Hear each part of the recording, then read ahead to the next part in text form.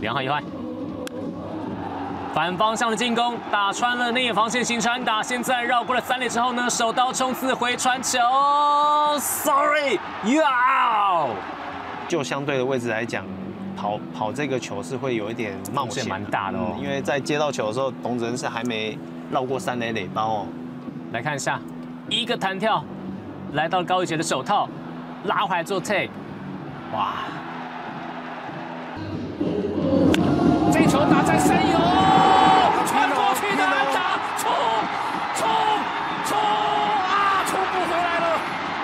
最后一个出局者在本垒，柏林垒间最后的出局，那最后是詹子贤的传本垒，所以击出安打的蔡家燕呢是有一分的打点，双方现在正式打，看起来要来了，像这样子出现安打。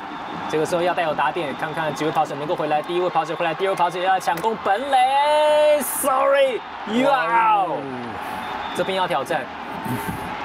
那刚刚第一时间看画面，感觉会觉得球好像早一点到到本垒这边。再来看一下，